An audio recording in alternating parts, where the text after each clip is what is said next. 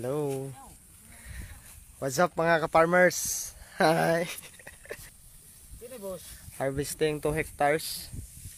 Ay hindi 2 and 1, 2 and 3 fourth hectares.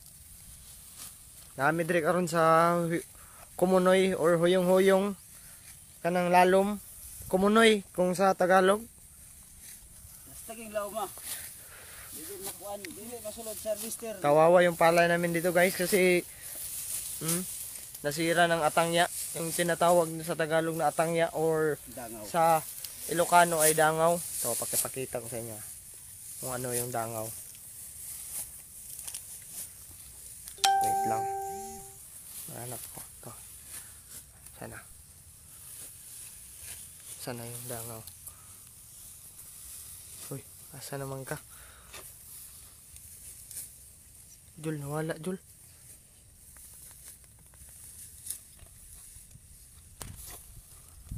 Yan o, yan. Yan. Yan. Yan ang dangaw. Or atangya. Hmm. Yan ang sumira. Or sa Bisaya ay piangaw. Boss, narandangan boss. Dangan. oh, mapakita niya. Maoring dangaw nga kuan.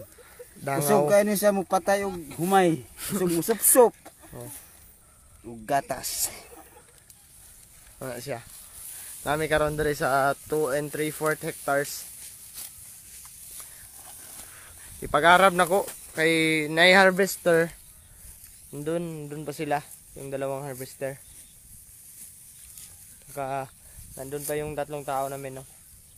Nasa 3 fourth. Kita mo yung katabi namin dito. Kawawang kawawa. Kasi oh, sa siguro makukuha niya ng kaban nito. Nanalan sa mga 10 sack instead 1 hectare ni. 1 hectare. Dito hanggang dun. Dun. Hanggang dun. Ito nandito po ako kasi nagpag-arab na ko akong lalom di masulod og harvester may lima akong tao kinuha. Ploy! Smile, Ploy! Kawa- Kawawa yung farmers dito guys kasi kumunoy pa yung basakan nila, yung palayan. Kinain pa ng atangya. Wala na silang natira. Kasi yung 7 hectares namin doon, yung pinakita ko kanina na nag-live ako ng rambutan. 7 hectares na harvest lang 205 sacks. 205 sack. Kaya kawawang kawawa dito guys. Uy, kaya itong humay boss, wala gani tayo ma-harvest sa kuan jod. Sao na lang kaning subing boss. Wala gid tayo magkuha subing diri siguro. Away, wala kakuan siya, dili na kasubing. Papakita ko yung kinalan, ki, kanal namin dito guys. Ah. Kapakita ko rin yung sumisira sa palay nila. Kasi, kasi ang kuan yung, minsan eh, na nasa pangbubunga na siya ng stage, milky stage. Oh. Ito ang lupa sa kanila guys. Kahit sindihan natin to, marami nang apa. musiga ni. Ilang yuta dre musiga. Mo nang among ginakanalan aron mo hungaw o isa pa mo gahi ning among area. Bag-o na mo ning kuha karon lang nakrap. Oh. Pakita ra gud Jol. Nga huyong-huyong gyud ah. Puntahan ko 'yon guys ah. Uyong-uyong kaya ni. Kini, kini akong Ano ba ako guys? Hmm? ang lalim. Nasa tuhod na ang lalim talaga. Kaya hindi kayanin ng harvester. Ganito, pag inusok mong tao dito, Inusok. ano, No? mawala. Palayan na grabing yung kumpay, sagbot.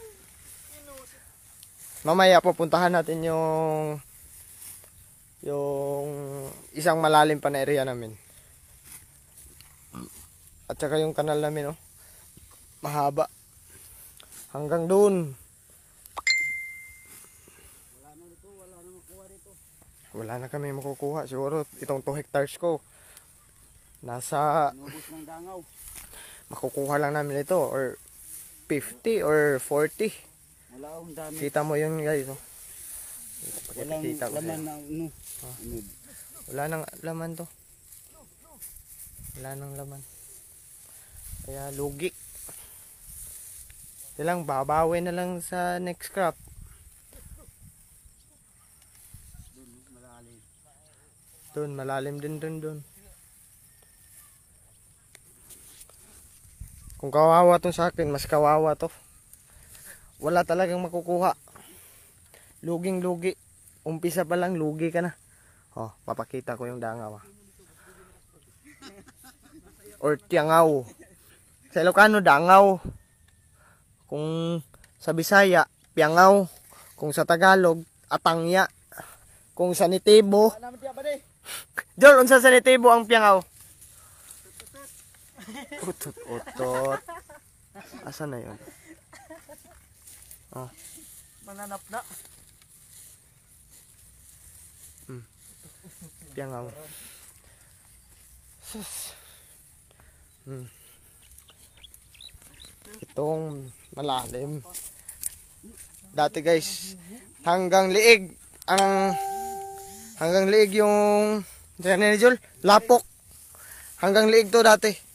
Ngayon, hanggang miwang na lang. Hanggang tuhod. oh. Kung wala tong kanal namin, siguro hanggang liig pa rin.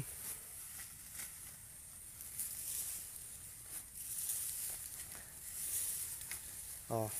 Abutin na lang na dili na kayo lalom. Hmm. Ako tong tilapil namin guys. Murag na preso ang naghabasak.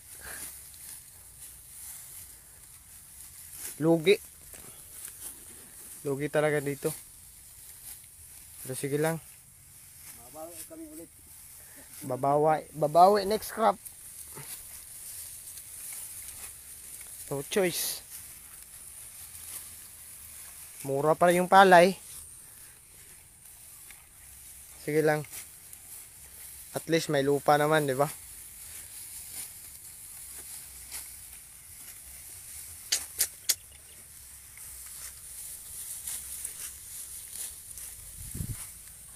Nandun pa yung harvester namin, no? Dalawa yun.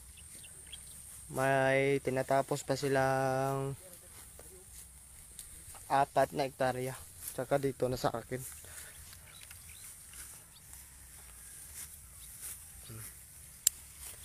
Yul, doon yan, eh, ano yung, wala na.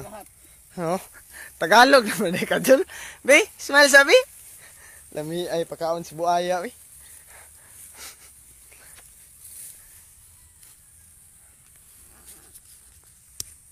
Malayo ang harvest namin dito kaysa sa kom Kombal. Yung pitong hektarya, humarvest lang ng 205. Yung yung anim na hektarya, humarvest lang din lang yun ng 186. At saka yung 5 hectares, humarvest lang ng 115. Luging lugi.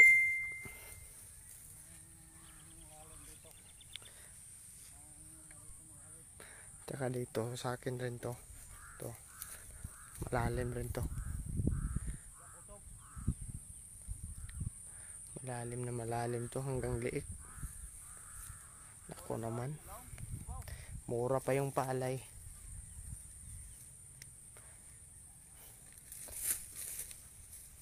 Observation ko kasi ang lugi yung ma maot pa yung humay namin. Hindi pa maganda kasi lalo mo na sa tunga. Luging lugi ka na. Hmm? Ang raming dangaw. Da dangaw sa tawagin namin ito kasi Ilocano ako. Hmm. Nasa na yun putang na ng dangaw yun. Yan o. Hmm.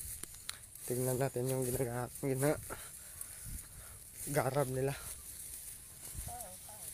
Oh, ito pala. Tuturo ko sa inyo.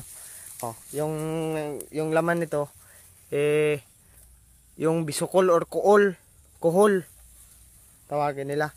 Tsaka nilagyan namin ng kuhol yung unsa ni? Unsa ni Jol? Unsa ni? Ha? Ikubag. Yung iba, yung una pa lang, yung pagrami nila, milky stage, kung tawagin. Eh, nilagyan namin nito para dito sila dumidikit. Kasi yun pang paborito nila eh. Oh. Nandyan. Nandyan sila. Tung, nung una, ang raming laman yan ng piangaw.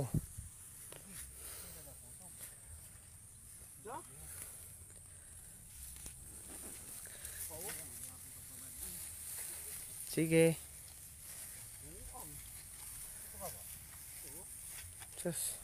Kawawang kawawa yung farmers. Sige na guys, end ko na. Mamaya na lang.